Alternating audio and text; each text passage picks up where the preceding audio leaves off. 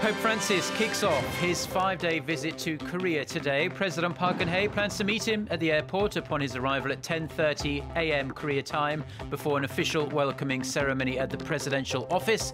It's the first papal visit to Korea in 25 years.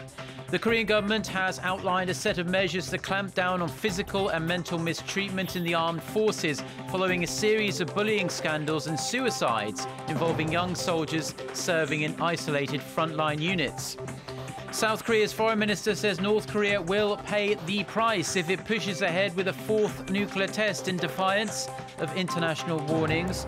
Plus, Israeli and Palestinian negotiators reportedly agreed to extend a ceasefire in Gaza by five days. This as Israeli airstrikes targeted terror sites across Gaza overnight. We'll be back with a full newscast in one hour's time.